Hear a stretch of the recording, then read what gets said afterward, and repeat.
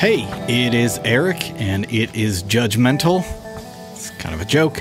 Uh, and we are just back from Autobahn Country Club, just outside of Chicago, in the beautiful city of Joliet. It was great. Good racers, good time.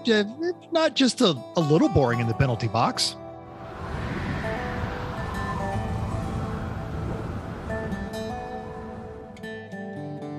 A lot boring. Now, Autobahn is managed by our buddy Mike Gritter and his assistant Kyle, and the whole staff at Autobahn is actually the best. And of course, Joliet being a town that is often associated with Chicago, kind of its own city, kind of a great place, really good ambiance there. Now, we introduced hot pit fueling at Autobahn, and some of the teams were having some challenges learning this.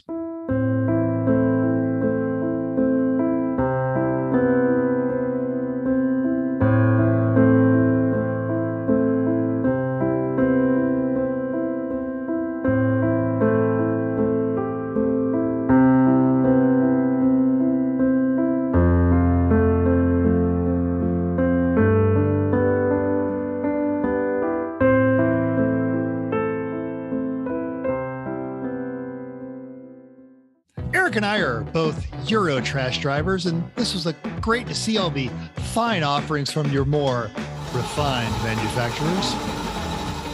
And of course, as a Volvo station wagon owner, I was happy to see a couple of Volvos that looked like they had also come out of the private school pickup line. Now, we don't put a whole lot of stock in stock cars, so to speak. That was really bad. Just cut that, John. We're not going to use that ever. Now, we don't usually think too much about NASCAR, but there were some really spectacular NASCAR and circle track inspired things at this race.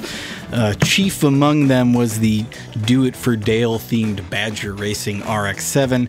Now, if you don't know Dale Earnhardt's history, he had the famous Wrangler paint scheme for years before the, uh, the Intimidator paint scheme.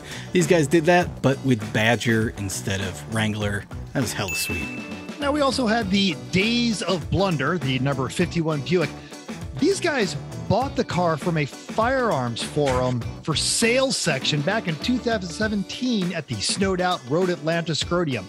Uh, ran it like it had something burning in the oven when they were coming home from church, but they brought it back, one of several cars that was driven to the track, and it looked hella sweet. But they couldn't even hit the pace car because it blew up. It was butt durable.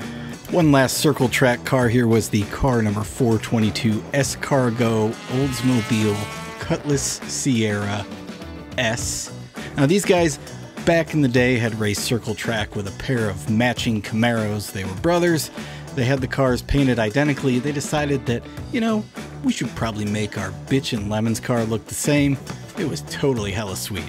Of course, we love bad ideas, and few ideas are as bad as a DSM or really anything of that ilk, and Joliet did not disappoint. The Class C battle came down to the 219 Nightmare in Elm Street, Eagle Talon, and the 420 Wonderment Consortium VW Quantum. That's really a battle for the ages, that pair. Indubitably. How dare you put the only desirable vehicle ever made by Eagle in Class C? Well, look, DSMs blow up a lot. These guys hadn't ever done better than 50th, and they had the race of their lives, which means not only one mechanical failure for brake lights that failed, they did beat the Wonderment Consortium's Volkswagen Quantum Synchro. How dare you put a Volkswagen in Classic? Well, you know how that does. It blew up. Now, as Mental mentioned, there were many DSMs at this race. DSM, of course, stands for Diamond Star Motors, which was that incredible partnership between Chrysler and Mitsubishi.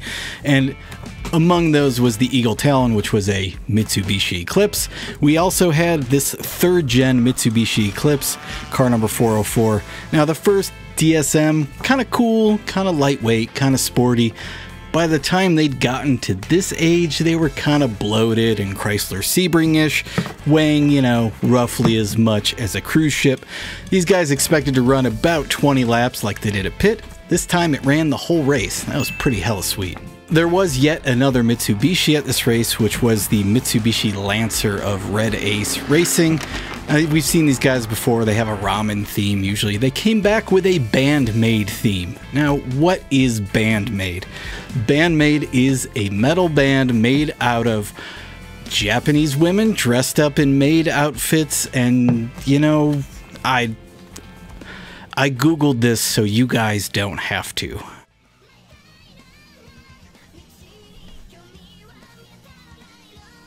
What the f- Both But Terrible and Hella Sweet was the B2 Racing's Rad Lobster, number 25 Dodge Stealth. They had a lot going for them in this race. They bribed well. They brought a cake themed with the car to celebrate with. More on that in a bit. And they promptly drove horribly. Uh, the, the only non boring team, really, of the weekend. Uh, they got penalties. They got sent to collect money for a charity raffle. They did great. Uh, then they had to count the sticky change for another bribe that we got. Now, what is sticky change? That's the under the carpet change you find every time you're building a race car that's covered in 40 year old soda. We're animal people. We love animals. I mean, obviously. So, uh, obviously, we love cars that are done up like animals. Hella sweet. Toe Jam Racing, Project 86 Nemo Porsche 944. Raced all over the country. Looks great. Another Porsche done up like Sea Life, the Scheissmeister Racing Porsche 944. Now, they put Jay's picture on their Bass for some reason. Bass Porsche. It's it's a Porsche thing. It's fine. These guys are very Porsche. Hella sweet, as always. Flying Pigs and that 750 Mustang. Always looks great. Runs clean, fast. Now, speaking of the Flying Pigs, uh, we did see them helping out the Mooshlong Jetta team. Now, what is Mooshlong? Well, that comes from a Lemon's Eye Racing broadcast where there was talk of the Mulsanne Straight at Le Mans and talk of Molson beer, and somehow it became Mooshlong at Mental's insistence. Nope. At Mental's inability to enunciate. Moose. Schlong. Mooshlong.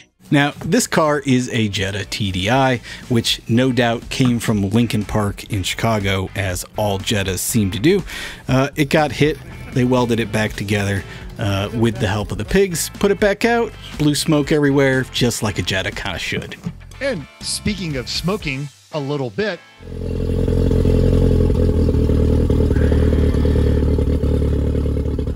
the dipsticks also but terrible silver jetta. They were going down the straightaway and they caught on fire. And i don't mean like oh, hell one like literally caught on fire. Driver got out of car ran to nearest flag station safely and calmly i might add.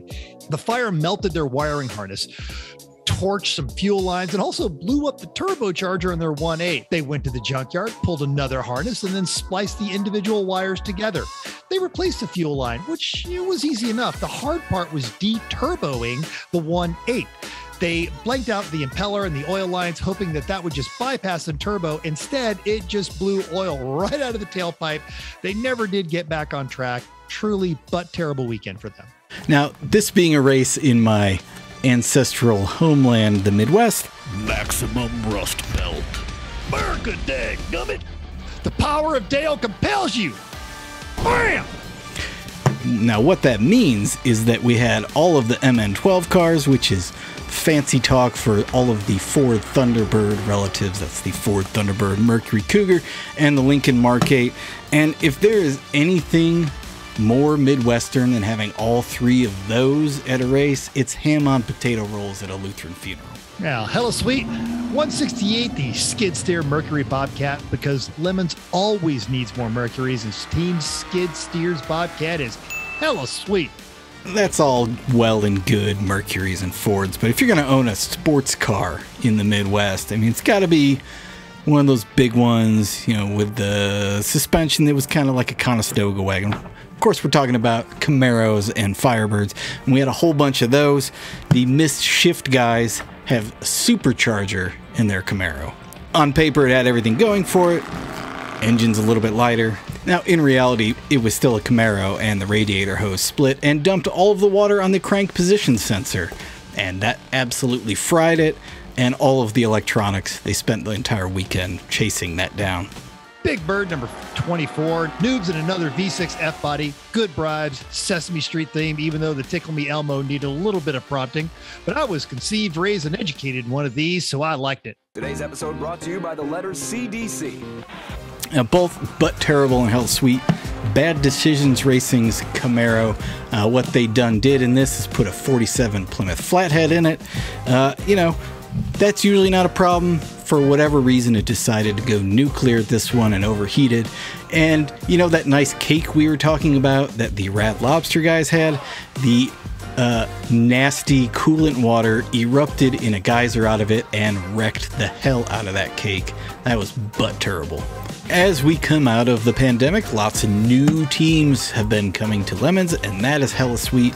Among them was the uh, number 97 Integra, which maybe, maybe is the rustiest car I've seen show up in Lemons in some time, which is saying something. Uh, and there happened to be two 2000 Integras at this race. They found each other and became fast friends. That's even better. We're super, super happy with that. Also, hello, sweet new team, the Subaru In Flight Service number 121. This is a group of actual pilots overtasked with actually building the car they had no theme. Luckily, their spouses stepped in and offered us a fine selection of airline snack and drink options. Welcome aboard. Uh, but terrible at this race was this car, not the people, but the car, and this was a new Two Lemons SW20 Toyota MR2. It blew up, finished DFL, and uh, even the head gasket in a can didn't work. That was butt terrible. Sometimes we get cars that give us a little bit of pause. And this number 555 Honda was no exception. Jill from Lemons of Love even said that the driver's suit alone was worth five penalty points. It was way too pretty. All of them were just time attack drivers. They ran clean all weekend, had a great time. Look forward to seeing them come back. Moving on to the winners, uh, we will start with the Yokohama Road Mangler Cup.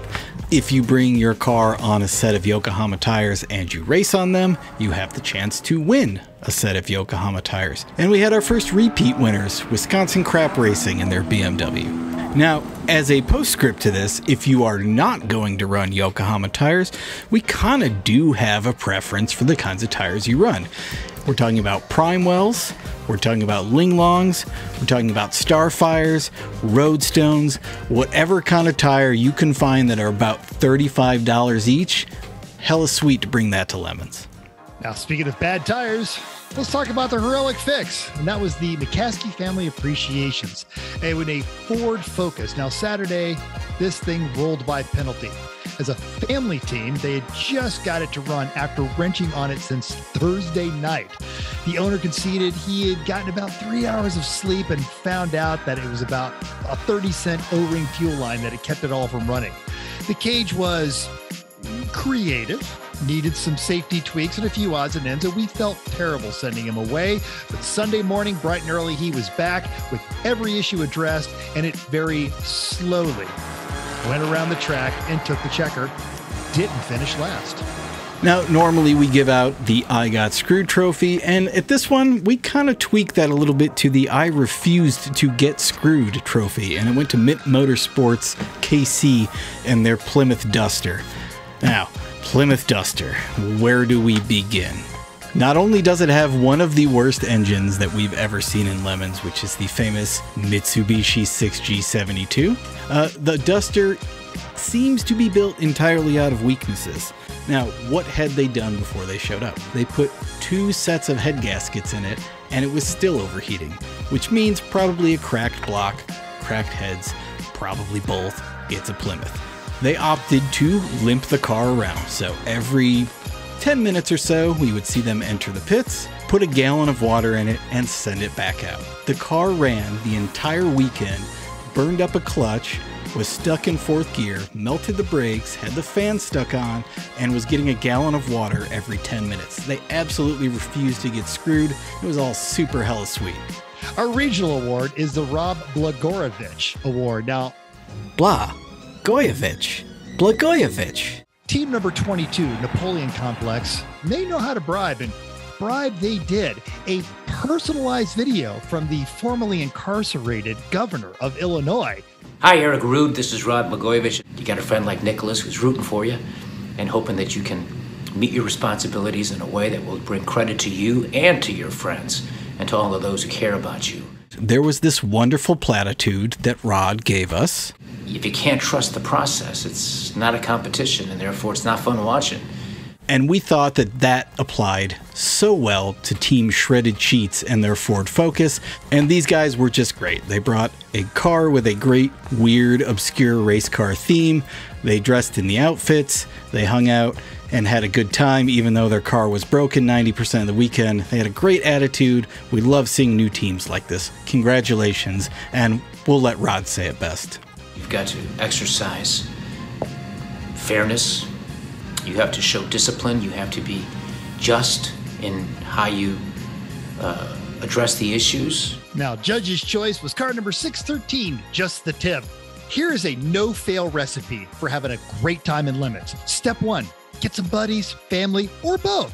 Step two, get an interesting but reliable, not fast car. Leave the engine alone, even with 306,000 miles. Step three, read the rule book, including the How Not to Fail Tech, three times, and then do what it says. Step four, make it look fun. Step five, clever name doesn't hurt. This was a great team. Best looking Tiburon ever in Lemons. Looking forward to seeing these guys again. Organizer's choice went to the Detroit Student Racing Team. Now, what is the Detroit Student Racing Team? That is our friend at the Detroit Bus Company, Andy Didorosi, and uh, his crew putting together a race car with high school students in Detroit and letting the high school kids race the car, which is super amazing. Now, the car is a Lexus ES250, which is not a car that exactly screams, gonna whip everybody in the field, but the team was pretty enthused about it. This thing's gonna dominate! It may not have dominated, but team driver Bailey, in her racing debut, lost a wheel bearing, brought the car in under its own power without incident, all with the ice cold precision of a steely eyed fighter pilot. Their race was over, but they stayed and hung out in the paddock, even got some go karting in. This is my new favorite team. Wheel to wheel auto racing is the pinnacle of high performance driving and the absolute limit of purpose built machines. And our IOE winner is literally none of those things. This Ford Fairlane meandered across the track like a sleeping house cat and the lean of a Hobie cat in a crosswind. It was amazing. Very well done, Fireball Racing. Here it is Lemons in a nutshell.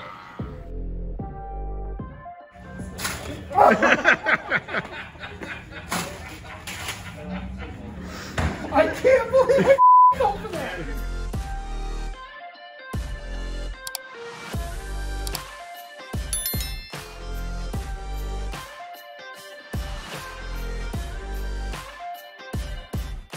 Wherever.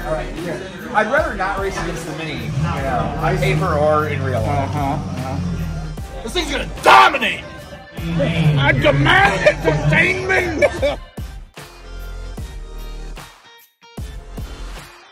Dang it, Abby, you couldn't just keep the car on the track! I'm sorry. Oh, I mean, give it- now I have to sit in the car. It's hot. I'm wearing a black quilt. You know that. I It failed. says it's 212 in here. I tried to pull the pin on myself. that was my intention. That hurt me. I'm sorry. You're out there with your shirt off and everything, all comfortable. Draft! What? Judges! No. Oh yeah. Crap. I bet the judges have lemons. Lemons? Lemons Electronic Motorsport Offender Data System.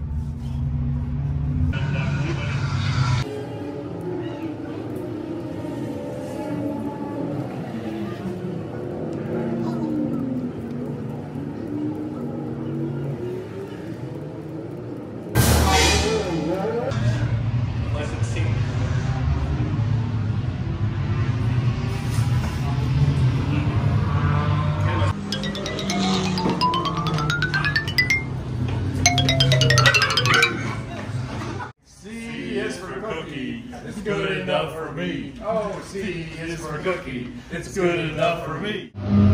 It's a beautiful day in the neighborhood. Beautiful day with the neighbor.